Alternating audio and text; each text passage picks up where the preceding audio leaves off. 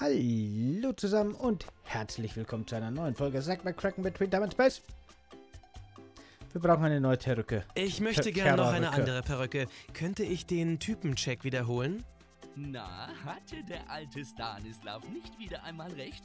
Wer erst einmal vom Zauber der Perücken erfasst wurde, kann nicht mehr anders, als ich weitere Perücken zu holen. Es ist immer so, wenn man sieht, wie einfach und bequem Perücken sind, möchte man nichts anderes mehr, keine teuren Friseurtermine. Äh, der Check. Natürlich, Sie können es wohl gar nicht erwarten, wie, na, da will ich mal nicht so sein. Wie alt sind Sie? So, jetzt passt auf. Ich habe mir mal ausgesucht, rausgesucht, was wir antworten müssen. Das Problem ist, auf Englisch. Ich hoffe, das ist von der Übersetzung her einigermaßen eindeutig. Aber gut, ich bin älter als Sie denken. Ich bin älter als Sie denken. Darum sind Sie ja auch hier. Weiter zur Frage 2. Welche Tätigkeit üben Sie aus?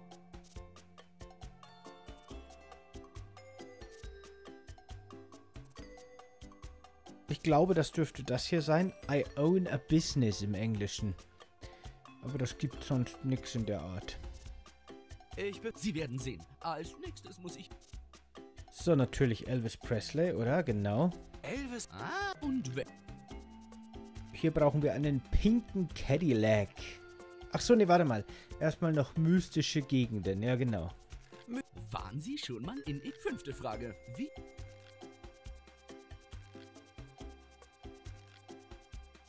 Entspannt in einem rosa Cadillac.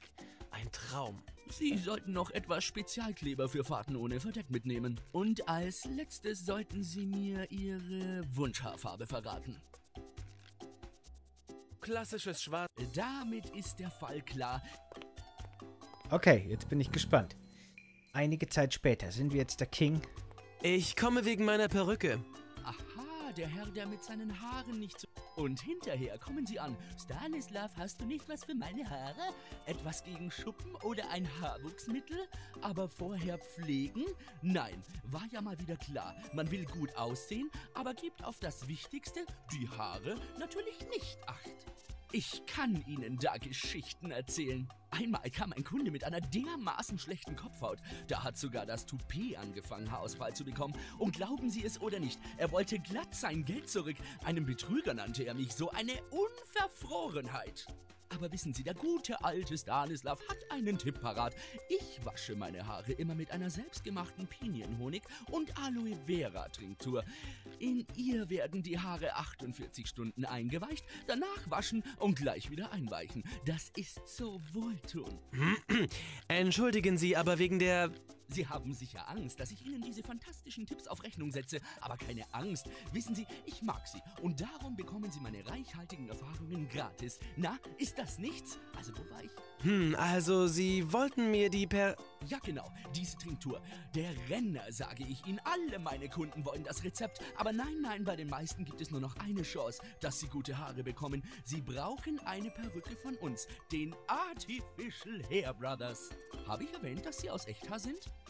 Sicher habe ich das erwähnt. Die Perücken werden einzeln in Handarbeit angefertigt. Alles Unikate. Und das wissen unsere Kunden. Deshalb sind sie ja auch so begeistert. Ja, das ist ja interessant. Und so aber wegen der Perücke... Und Sie werden auch begeistert sein. Langfristig wollen Sie sicherlich nicht nur bei einem Modell bleiben. Das wird doch auf die Dauer langweilig. Und da kann ich Sie beraten. Immer das gleiche Schnöde. Unsere Perücken sind zwar aus Echthaar, aber sie wurden speziell behandelt, so dass jede ihre eigene einzigartige Frisur hat. Und das immer. Stellen Sie sich vor, was für Vorteile es hat. Sie müssen die Perücke nie frisieren, nicht waschen und nicht einmal föhnen. In der Sauna oder auch beim Surfen, die Perücke sitzt. Keine unmodische Frisur mehr durch die Einwirkung des Salzwassers. Das ist der Renner. Bei Salzwasser muss ich Ihnen aber noch etwas sagen. Da müssen Sie vor dem Spaß zusätzlich die Perücke mit unserem Spezialwachs behandeln. Sonst wird das Haar spröde. Ups. Und das wollen wir ja nicht. Doch das ist wohl ein geringer Preis, wenn man betrachtet, dass man dafür feinstes Echthaar bekommt. Äh, eigentlich... Eine Perücke, die so gut sitzt, dass man sie weder sieht noch spürt, mit einer gewagten, perfekt eingearbeiteten Frisur. So etwas bekommt man nur bei uns, den Artificial Hair Brothers. Ja, das können Sie sich kaum vorstellen. Gerade habe ich einen Anruf bekommen, das diesjährige Toupet-Treffen wird bei uns in der Stadt stattfinden. Dort werden alle Größen unserer Branche vertreten sein. Und das sind, auch wenn sich die Elite auf wenige, wie zum Beispiel die Artificial Hairbladders beschränkt, ja, ich möchte nicht angeben und Eigenlob stinkt ja angeblich, aber falsche Bescheidenheit ist hier wirklich fehl am Platz. Das wird Ihnen jeder dort bestätigen. Wirklich viele. Wenn ich Sie kurz unterbrechen darf. Ich weiß, Sie haben viel zu tun, aber... Weißt du übrigens, wer das organisieren darf? Mein Bruder Dragoslav und ich, können Sie sich das vorstellen? Ich werde mit Jörg Haraus Fall an einen Tisch setzen und ich kann dir sagen, dass wir sicherlich wieder die goldene Locke überreicht bekommen werden. Das freut mich, aber ich muss jetzt wirklich meine Perücke haben. Ach, sagen Sie das doch gleich, die tolle. Sie haben sicherlich die tolle. Wie weit sind Sie mit meiner Perücke? Tja, was denken Sie denn? Die Artificial Hair Brothers sind nicht umsonst weit und breit bekannt. Wunderbar. Da ist sie ja prachtvoll, nicht wahr? Wie der King, nicht wahr? Ich will ja nicht prahlen, aber unser Vater, damals selbstverständlich im gleichen Gewerbe tätig wie wir, hat dem King persönlich seine Perücke angefertigt. Die Perücke ist fertig. Darf ich um Ihre Cashcard bitten? Hier, bitte. Besten Dank, mein Lieber. Und hier ist sie, Ihre niegelnagelneue Perücke. Und wenn Sie noch weitere Pflegetipps brauchen, Sie wissen, wo Sie mich finden. Danke, ich werde mich vertrauensvoll an Sie wenden. Wissen Sie, in unserem Gewerbe hat man ständig zu tun, jede Menge Arbeit, so gerne ich auch würde, aber ich habe nicht den ganzen Tag Zeit, mir Ihre Lebensgeschichte anzuhören. Ha! Eine perfekte Imitation der Frisur des King. Äh, doch das alles wird nicht reichen. Äh, wenn ich die Caponia täuschen will, muss ich auch mein Gesicht irgendwie verändern. Damn it. Unser Gesicht irgendwie verändern auch noch. Das sieht... Sieht ja interessant aus. Ich bezweifle aber, dass ich mit dieser Perücke die Caponia hinters Licht führen kann. Was? Na gut, aber das liegt nur daran, dass wir unser Gesicht noch nicht verstecken können, ne? Ich habe jetzt auch nichts, was mir da einfallen würde, was wir machen könnten. Ah, damn it.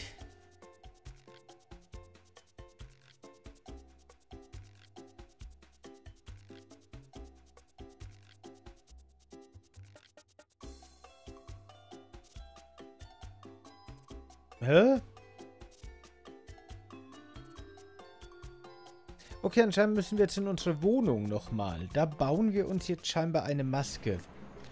Habe ich gerade gelesen. Oh, die Taxirechnung wird teuer. Naja, hilft ja nichts.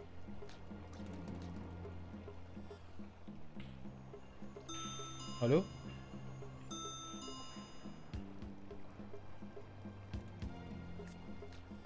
Ach, stimmt, ja. Annie muss noch...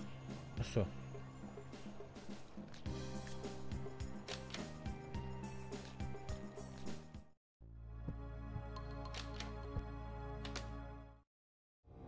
Oh oh.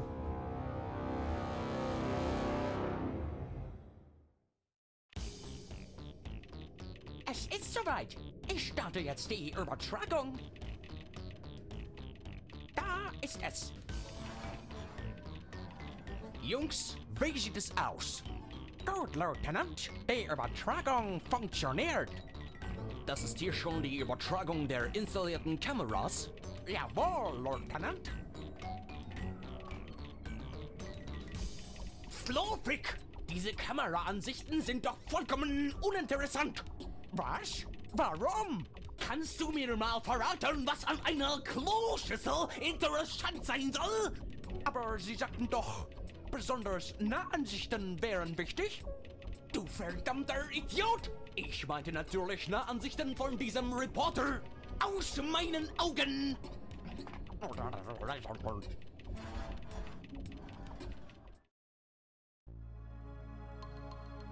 Oh oh, heißt das, unsere Wohnung ist verwandt?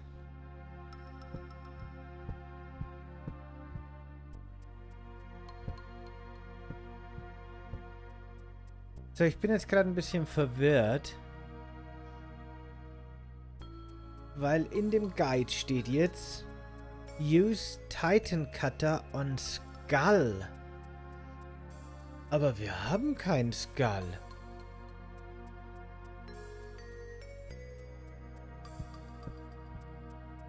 Und den einzigen Skull, den ich wüsste, ist der bei den Artificial Haircutters.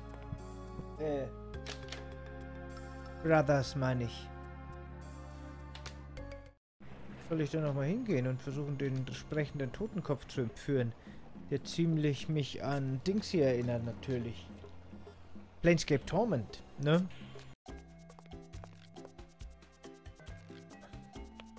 Lieber nicht, es könnte mich beißen.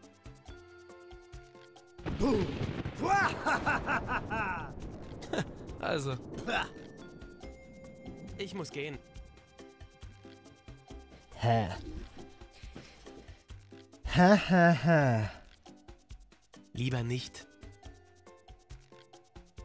Nein, da, das geht. Wenn man mich dafür bezahlt. Verdammt. Da habe ich wohl irgendwo irgendwas Wichtiges übersehen oder so.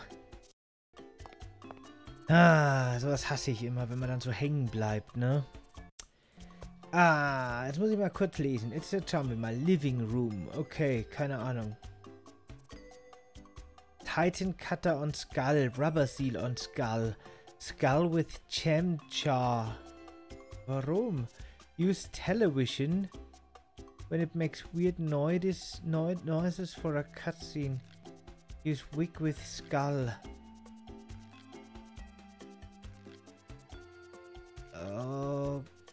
Okay, keine Ahnung. Was zur Hölle hier los ist. Bin ich hier richtig? Die Perücke haben wir. Okay, ich muss irgendwo einen Skull übersehen haben. Ah, das nervt mich. Gibt es hier eine Suchfunktion? Ich kann doch bestimmt hier irgendwie suchen, oder? Geht immer die, geht immer der Sound von dem Spiel aus. Kann ich hier nicht irgendwie suchen? Nach dem Wort Skull? In diesem Dokument hier? Geht doch bestimmt irgendwie. Ich weiß nur nicht wie.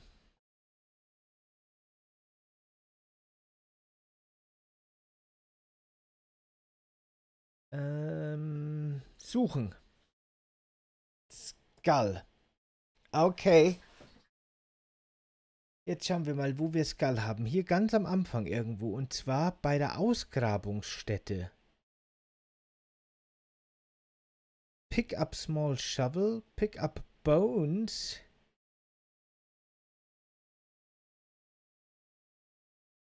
Medium-sized skull. Ach, come on.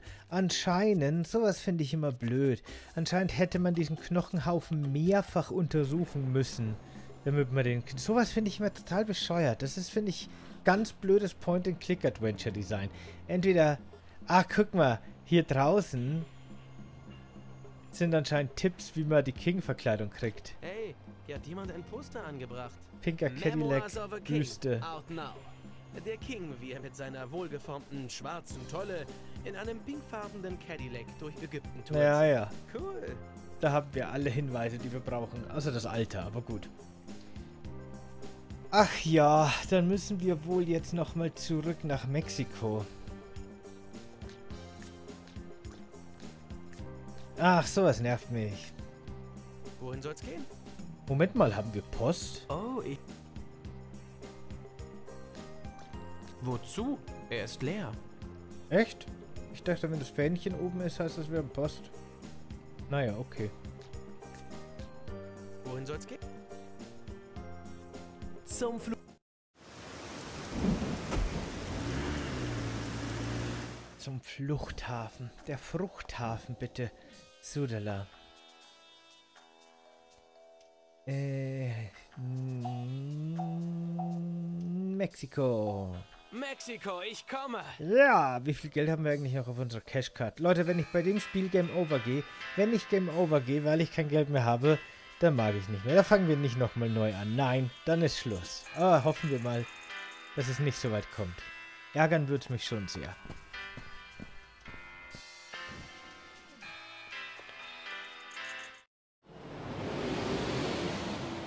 Vincent. Ah doch, auf Escape kann man die überspringen, na gut.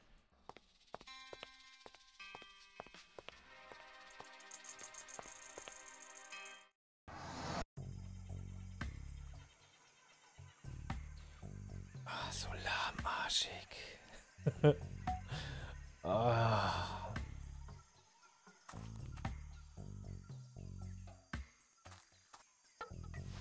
Hm, der sieht auch nicht interessanter aus. Nein, diese hier helfen mir auch nicht weiter. Aller guten Dinge sind vier. Igitt.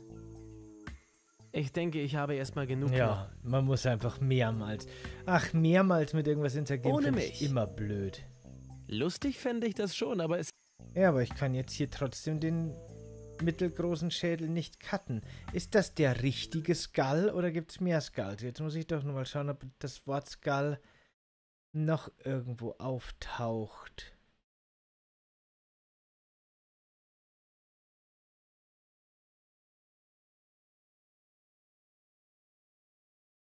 Pick up small and large skull. Hä?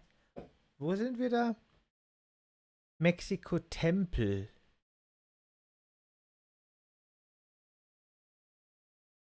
U-Shape, U-Shape. Cookie Mush, genau. Shovel on Cookie, Massive Cookie.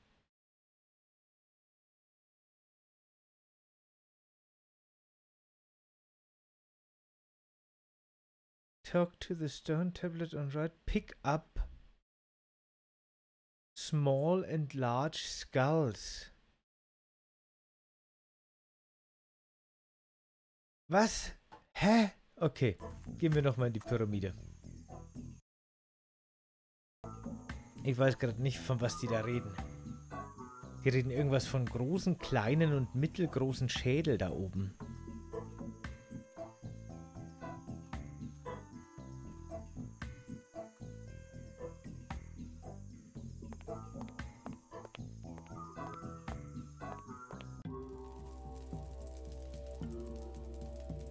Ich sehe hier keine Schädel.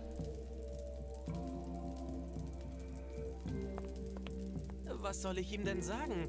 Außerdem glaube ich auch nicht, dass er antworten würde. Ich habe keine Ahnung, wie das gehen soll.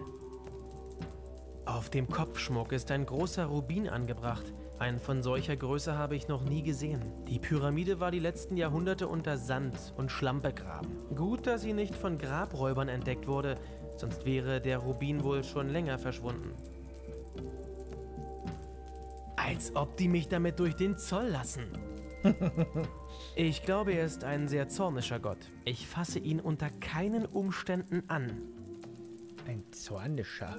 Die in Stein gehauenen Augen sehen aus, als ob sie mich beobachten. Unheimlich.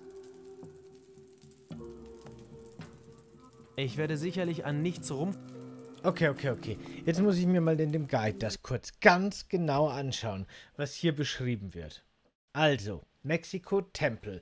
Use lighter on torches. Genau. So, passt. Ähm. Use Remote Control.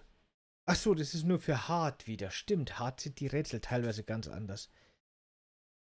Pick up Crystal. Das Teil hängt hier schon seit hunderten von Jahren. Und da komme ich und soll es klauen? Es muss einen anderen Weg geben, meine Redaktion zu sanieren. Ich habe mal wieder keine Ahnung, was du von mir willst. Ja, da steht zwar Pick up Crystal in dem Guide, aber das gehört, gehört das immer noch zu hart vielleicht?